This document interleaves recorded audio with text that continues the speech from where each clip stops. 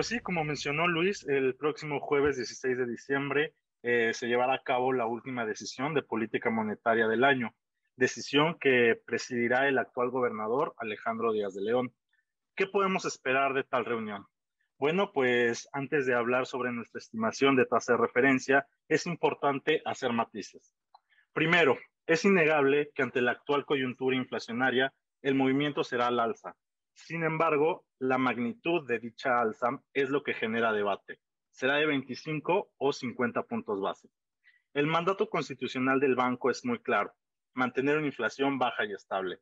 En ese sentido, la autoridad monetaria tiene un objetivo de inflación, 3% más menos un punto porcentual.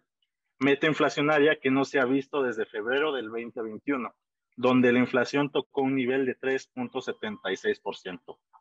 Ahora bien, ¿qué es lo que ha impulsado la inflación y no permite que ceda? La última lectura del índice de precios correspondiente a noviembre nos deja ver que la inflación no subyacente, que es la inflación que integra elementos más volátiles, explica gran parte de la dinámica inflacionaria. En noviembre registró un valor de 12.61% anual, lo que llevó al índice general a posicionarse en 7.37%, tal como podemos ver en la lámina. Como hemos mencionado anteriormente, la dinámica de precios continúa enfrentando una desafiante coyuntura, ya que las disrupciones en las cadenas de suministro y cuellos de botella alrededor del mundo como consecuencia del desequilibrio en varios mercados que ocasionó la pandemia no cede, lo cual eh, ha elevado el precio de múltiples bienes y servicios, reflejando las condiciones de escasez de estos. Y mientras no se liberen tales condiciones, no esperaríamos una desaceleración importante en el índice general. Aunado a ello, eh, justo como mencionó Luis, eh, es realmente preocupante la contaminación que ha presentado el componente subyacente, elemento más estable de la inflación, que presume ser más susceptible a decisiones de política monetaria y que tiene mayor ponderación en el índice general. Dicha contaminación podría ser la combinación de dos factores. Primero, existe un traspaso de la inflación no subyacente a la subyacente. Desafortunadamente, las mercancías, tanto alimenticias como no alimenticias, necesitan ser transportadas, para lo cual se necesita combustible, por lo que se suele transferir al consumidor los incrementos en energéticos. Por eso, cuando hay aumentos en precios de gasolina, tradicionalmente se escucha el comentario de que todo sube.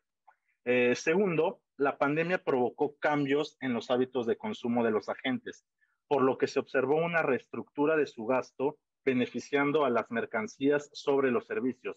Sin embargo, a medida que, las restricciones eh, en la movilidad se fueron atenuando, los servicios han empezado a acelerarse. Siguiendo esa línea, em, es de vital importancia mencionar que debido a que la mayoría de los choques que han incidido en la inflación son choques de oferta, la política monetaria queda limitada en su influencia hacia la dinámica de precios de corto plazo y el aumento en la tasa de interés objetivo que ha realizado Banjico responde a dar la señal de compromiso mediante el anclaje de expectativas de mediano y largo plazo. Con ello en mente y analizando el perfil de la mayoría de los miembros de la Junta, los cuales han hecho público su interés por llevar a cabo un ordenado y predecible ciclo de alzas para así acotar en la medida de lo posible episodios de volatilidad en mercados financieros, consideramos que el aumento de 25 puntos base sería más probable que el de 50. Además de ello, es importante mencionar que de darse el aumento de 50 puntos base, también se daría la señal de aumentos más agresivos en adelante y dada la actual coyuntura de recuperación económica, podría representar un lastre. Si bien ello no es función del Banco Central, el deteriorado panorama económico gestado por la pandemia requiere ser atacado por varios flancos, tomando con cautela cualquier decisión de orden público.